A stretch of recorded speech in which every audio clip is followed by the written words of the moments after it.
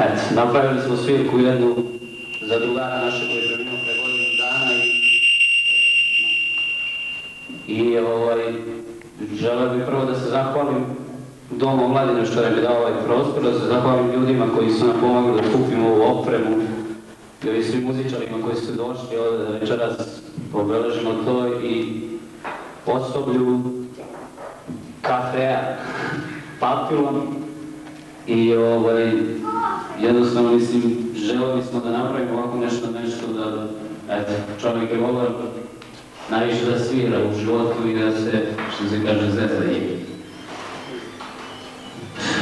šta da kažem, više o njemu ne mogu ništa ne treba puno pričati o njemu, on čovjek bio kakav je bio, uvijek bio spreman za sviru, uvijek je bio i moje pozitivne energije za ceo svet, a mi sad oko njega što smo svirali sa njim to najbolje znamo, ljudi koji su ga znali ovako, oni su ga znali iz drugog ugla, mi smo ga znali drugačije i mislim, ne mogu puno ništa da kažem njemu, sve da bi primjer za sve, šta kažem.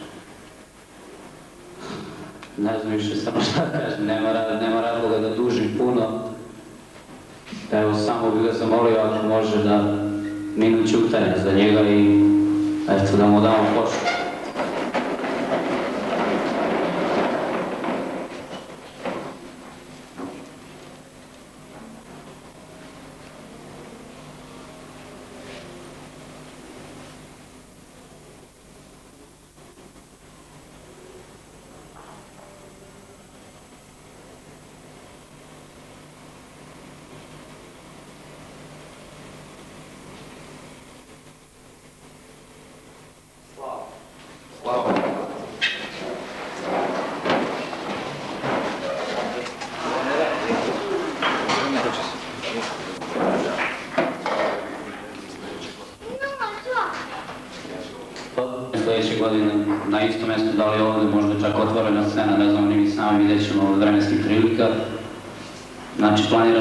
Godine, iduće godine bi volio da se još više muzičara skupi, zato što večeras su neki odsustuju, da li zbog posla, tamo malo nije ni važno ko je došao, došao je. I šta daš, da se lepo provedemo njegovo ime, zato što je volio najviše. Hvala vam svima, još jednom.